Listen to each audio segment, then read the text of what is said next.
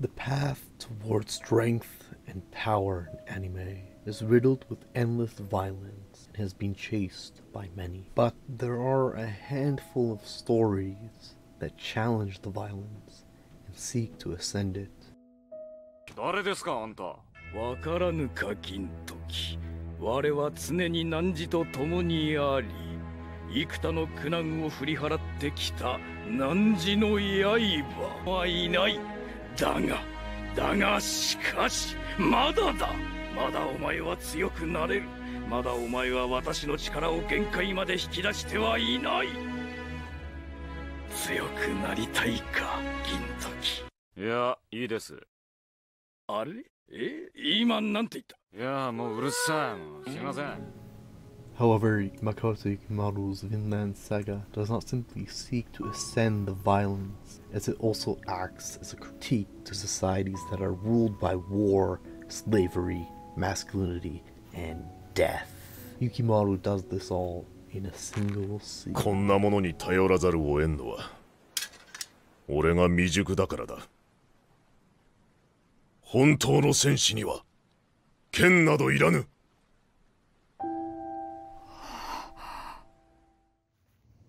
Hi, and welcome to Lost Futures. I am lost.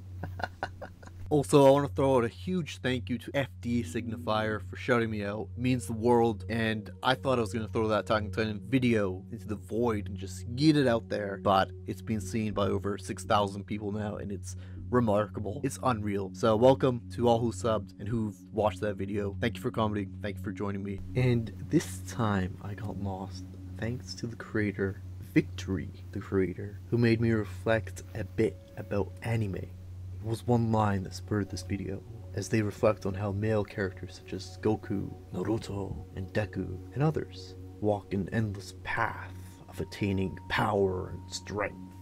And you know, Vinland Saga follows a similar path as readers or watchers watch Thorfinn become this ruthless warrior. But this initial setup leads to a twist. It's a twist that fundamentally changes how the manga works and presents violence. But it is also a way for Yukimura to challenge Thorfinn's path of blood and violence. It is these challenges that lead Thorfinn to seek out an alternative society, and Yukimura does this brilliantly by continuously mentioning Vinland, which is also beautifully described in a single line.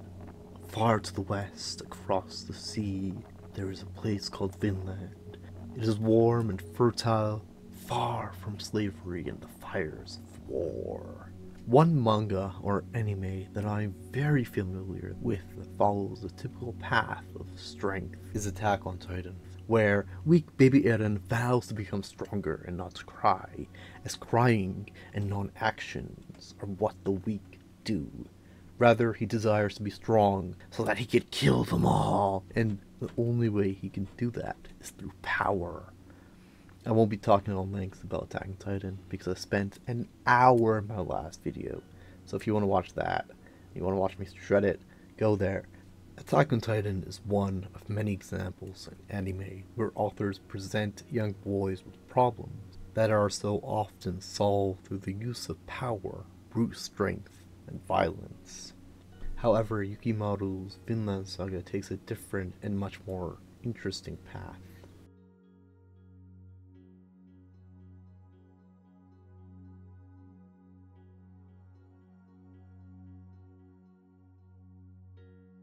Vinland Saga and Attack on Titan share similarities, but Vinland Saga was written with key components that elevate it above your typical shonen and seinen manga. And this has to do with what core message is being displayed, but also how characters change and grow and evolve. Although people state that Eren evolves, he doesn't, as his hatred and desire to kill all of them remains until the end. Furthermore, Isayama never goes beyond violence, and it never gives his characters time to dwell on death and their actions. The only time it is dwelled on is with Erwin Smith, Levi, when he thinks about how many comrades have died. Whenever Marco is brought up, and with Reiner, who, in my opinion, was done dirty. Other than that, death is brushed off by the main cast. So on one hand, Attack on Titan's solution to everything always seems to be violence. And that is because, as I argue in my last video, it is pro-fascist and admires a strong military man who takes action and fights. Those who do not fight, those who are anti-war, those who want peace, are never really shown, and secondly, are demeaned and scrutinized. On the other hand, Vinland Saga, written in 2005, starts very differently, as it begins out of order, where Thorfinn is already a killing machine. But Yukimura ties it back to the beginning with this great scene where Thorfinn is on a longboat. He's reminded of his father and that story of Vinland. So, unlike Attack on Titan, Yukimura places key ideas and themes in the very beginning to sway the plot when the story transitions. Yukimura does this through the character of Thors, who is Thorfinn's father and a deserter of the Jomsvikings. Thors has every characteristics the anime fanboys like. He's big and strong and has fought in countless battles, but like King Fritz, when we are introduced to him, Thors has renounced war and violence. For example, Look at his expression when war is declared. Yukimura draws the joy of the young who've never seen war and contrasts it brilliantly with Thors' body language of complete despair because he has seen what has occurred in war. In his own words, he has murdered countless of people, and it's great. He also agrees to fight in the war because his home, the island, the people on it are held hostage, or when his son is captured by the mercenaries. Now you might say this is the same as Eren. Eren had to slaughter everyone because Paradis was to be exterminated. There was no alternative. But if that's the case, why didn't Eren and his crew play defense? Why did he infiltrate and kill innocents? Why didn't he use the genie founder to erase the hatred of the Eldians, or use the founder to wish away the Titan powers? There was always an alternative. Thors shows the reader this alternative as he could have killed every single mercenary, but it would have came at a cost. His son would have died, the crew would have died, everyone would have died. And so, for the safety of his crew and his son, he gives his life and they live. The crew lives, the son lives. He succeeded, but it cost his life. His final line is part of the thesis of the manga. A true warrior does not need a sword. Now does Thorfinn, son of Thors, listen? No, he, he becomes consumed with hate like Eren, and at the dead of night, as the darkness consumes the ocean, the mercenaries hear an angry growl from the stolen longship. A ten-year-old boy stands there, with eyes filled with bloodlust, howling into the darkness of the night, screaming, I'm gonna fucking kill you! I'm gonna kill you. I'm gonna kill you. And seriously, it's one of the most horrifying scenes in the entire manga. And it's it's great. It shows you how consumed Thorfinn is with hatred. And you gotta understand that Thorfinn here is six years old. It's crazy of how much hatred he carries because they killed his father, and so we are taken on a story of revenge, and it kind of mirrors uh, Red Dead Redemption a bit, but it's it's actually it actually has a lot more time to dwell on death and Thorfinn's actions, and so yeah, it's it's cool, but I'm I'm gonna kind of cover the prologue a bit more because you have to understand what kind of actions Thorfinn's committed, what kind of crimes he committed, and how that impacts him.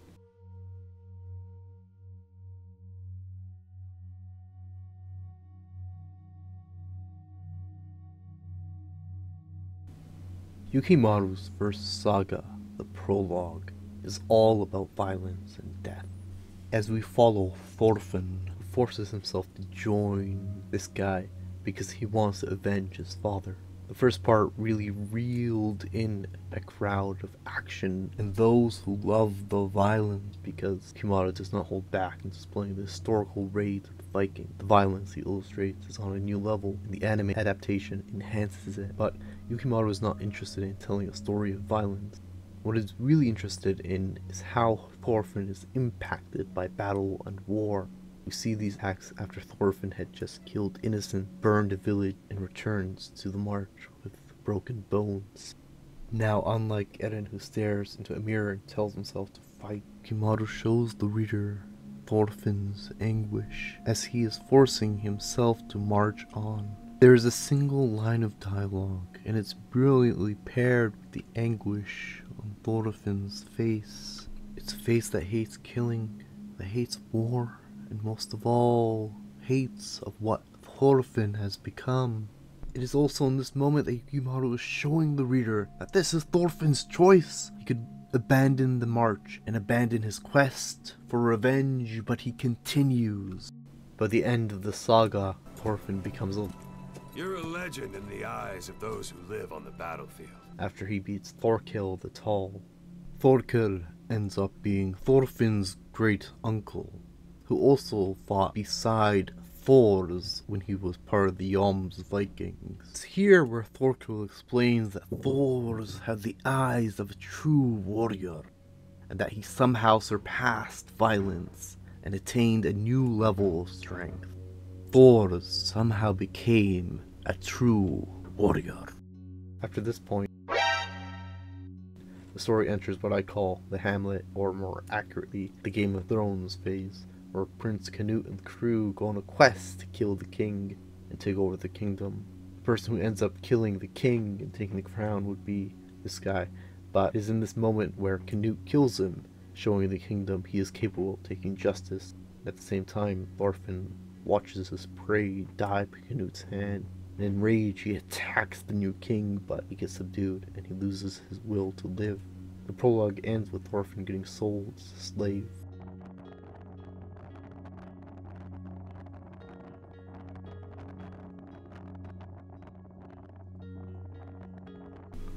The next arc is one that is hated by those who came into Vinland Saga wanting a Viking action anime or manga, where in every panel there's an endless stream of senseless violence, killing, bloodshed, and death. Yukimoto drops all of that, and what the readers are introduced to is a slow and reflective arc known as the farming arc. Small edit here.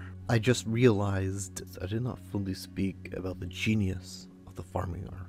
I think what's so special about this part of the story is that it recontextualizes the violence and the action that was showcased in the prologue.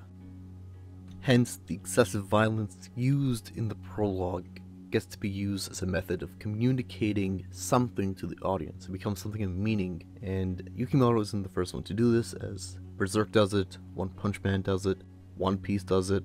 All of these do this, but the recontextualization is barely ever seen.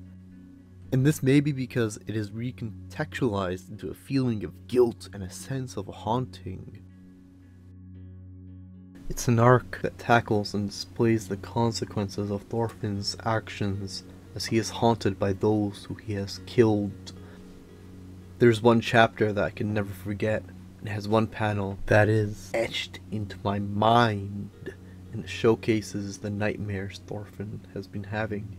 It's a panel where Yama shows all the people Thorfinn has killed, and they're dragging him back to hell or back into a life of violence. But Thorfinn does not fall as he clings onto an edge.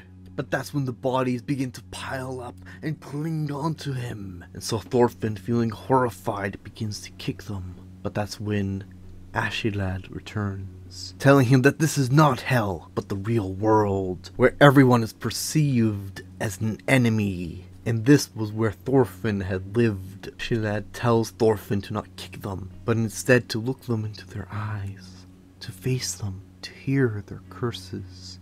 And so Thorfinn begins to apologize, but Askeladd explains that sorry isn't enough, that Thorfinn's true battle is to climb out of the life of violence and to live with all of those who he has killed hanging on his back, and to walk a path where he atones for his sins. And so Yukimoto here is not only dwelling on death, but he is challenging Thorfinn psychologically. First, there's Thorfinn's PTSD episodes. There's also the weight of living with the crimes and the murders he has committed. It's this weight that shifts Thorfinn's view of violence and makes him vow to never use violence as a means of solving a problem. After this, Thorfinn edges closer to how his father was. The main thesis of the manga ties back what drives Thorfinn to keep on living is first, he wants to make up for the sins he has committed, but he also wants to escape this violent Viking hell by going to Vinland. However, Thorfinn does not simply want to go to Vinland to escape the Viking hell, but rather he wants to try to eliminate warfare and slavery from the world by creating a better society. A society where people can live at ease and in peace with each other. And to be honest, it's one of the best dreams a manga and anime character can ever have. Like, seriously, Naruto has like, I'm gonna be the Hokage thing. Goku's like, I'm gonna become the most powerful man on the world by beating up people. Uh, Luffy, I don't know if it beats Luffy, but it's ambitious and it's creative, right? Kind of speaks to Mark Fisher's capitalist realism. Is there no alternative? Uh, this is where this is kind of like Yukimoto saying, "Hey, there's this huge society. Thorfinn is powerless. Like he can't be like Goku or Naruto or Luffy, and he can't just go in and punch and kill the king and take over and create a world without peace and slavery, a world without war and slavery. Rather, he's saying, okay, if that's the case, right? Because I'm working in a historical setting, I'm going to take Thorfinn and I'm going to take him to Vinland, to North America, and create as an author a land where there is no war, there is no slavery, and it's quite peaceful. Um, I don't know how this works out because I haven't caught up with the manga. I don't. They're in Vinland right now, but I don't know how it works out. But it's super cool. Like you know, you don't see that all day. You don't see Luffy being like, you know what, man, I'm gonna make the world peaceful without war and slavery. Dude's a pirate. Like he wouldn't do it. Yukimoto ends this arc with a brilliant contrast King Canute, as Yukimoto here is tying aspects of Macbeth and Hamlet into the manga, and he shows Canute having this ultimate power and an army that can take over any land, but he's stuck paranoid and is portrayed talking to the head of his father, the head that laughs at him and tells them, This is the curse of the crown, my boy. It's a brilliant way of showcasing how violent acts and positions of power have prices on them.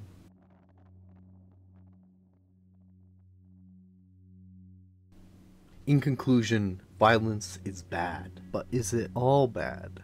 I don't know where Vinland Saga ends. I hope that Thorfinn does not colonize Turtle Island. But what I do know is that as Thorfinn prepares to journey to the far west, he has encountered people who he has harmed in the past. For example, he runs into the huntress Hild, who was overtaken by revenge, and Thorfinn sees his younger self in her. To mend the wound, Thorfinn goes as far as giving her his life, but he also shows her that he has a mission to accomplish, and that he cannot die yet. This echoes a theme that many animes present, and it's best said by the skeleton man Brook from One Piece, who once said, Death is the easy way out. So in all, it's a rather interesting take on the Viking era and the Viking setting, where everything is normally centered on violence and battle, here, Yukimura flips that and takes a stance of non-violence. This stance shines in the farming arc and the arcs that follow. It shines because, in a sense, Yukimura is trying something new and is also challenging himself to write a story that is now centered on inaction and non-violence. Furthermore, Yukimura is going against the grain of popular anime and manga which is fascinating because as Victory the creator points out, most of these stories are about some dude who's chasing power and strength. I think what Yukimura is ultimately saying here is that true strength is not derived from senseless violence killing, but from restraint and seeking other methods. There's also a message that counters hate and one that echoes those who've protested in the Vietnam War my conscience won't let me go shoot my brother or some darker people or some poor, hungry people in the mud for big, powerful America and shoot them for what? They never called me nigger. They never lynched me. They never put no dogs on me. They never robbed me of my nationality, raped and killed my mother and father. What I'm gonna shoot them for what? How am I gonna shoot them? Them little poor little black people, little babies and children and women. How can I shoot them poor people? I would just take me to jail the Iraq War, the Afghan, the current Syrian, Yemen, and Ukrainian wars. It is a message that states, Why should I hate them? Why should I hate anyone? We do not have any enemies. Now, Marxists may disagree with this sentiment because there is no war but the class war. However, the overall stance that Yukimoto takes is one that stands against war. Yukimoto makes it clear early on that there is no reason to be excited to go to war or to support the war. This account is also mirrored in real life by veterans who went to war as young, naive youths and saw the horrors with their own eyes. By the end of the farming arc, this stand against war transformed to one that is anti-imperial as Thorfinn and King Canute come face to face with an epic battle of ideas. However, there are layers here, because one can also read that line, a true warrior does not need a sword, as a true man slash person is not one who fights with a sword or his fists like Eren, but rather one who challenges their emotions and seeks an alternative. An alternative that does not harm the innocent. Vinland Saga then acts as a critique of the Manosphere and those in it who admire the Vikings for their brute strength and ideas of masculinity. Yukimoto is basically saying that the Manosphere and the mentality that men ought to fight and talk with their fists is wrong and silly. It is silly and it is further causing harm. The men who should be admired are those who are like Thor and Thorfinn, those who denounce war, those who do not seek the endless path of strength or power, but rather walk a path of kindness, a path that seeks to heal those who they have harmed. However, Yukimura is not against all violence. Thorfinn and Thors still do fight, but to defend. This stance on when to use violence or action can be translated to how in real life action is necessary if there are Nazis or fascists who are parading through the streets. If we ever see them and their presence grow in our communities, it is our duty to go out there and to punch them in the face.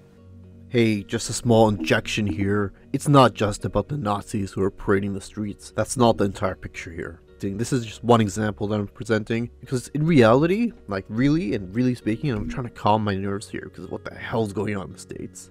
This is like the bothered boy rant of the video. Props to bothered boy for everything he's done. But seriously, it is the power systems that inflict this injustice as well, right? If you and this is this is where you know people say if you vote politicians will change things. Sometimes action is necessary. Sometimes it is necessary to go out there in the streets and to protest and to fight for your rights. You know, in principle, it is about standing up against oppression. It is fighting against those systems that are oppressing people who are stripping away rights from women, black people, African American, Afro Canadians, indigenous people, Arabs, gay people, trans people, and of course non binary people. Therefore, violence is sometimes necessary to push back against injustice, and historians and thinkers alike have explored this. One article that explores this at length was written by Natalie Zemon Davis in her 1973 Rites of Violence. Finally, Yukimoto shows and displays the growth of Thorfinn as he moves past the hate, past the revenge, and begins to walk a path that allows him to atone for his sins, the sins that he has committed. However, he is also still carrying his violent past with him, and he uses such a past to aspire to create a better world where people can live in peace without slavery and the fires of war. So this is the official end of the video, and if you liked it, press like. If you want to watch more, please subscribe, um, and share it. Please share this video. Do it. Just, just do it. I think what I like the most about Vinland Saga and this is kind of like my final, final last words, is that the struggle here is, at the end of the day, it's Thorfinn struggling with his violent tendencies, and it's almost as if Yukimoto's also struggling as well, because, you know, it's hard to draw and to center a manga that's been so prevalent on action and violence and death and blood and slaughter and you know all that gore and the heads getting chopped off the fingers getting chopped off and you know you got these awesome battles being drawn.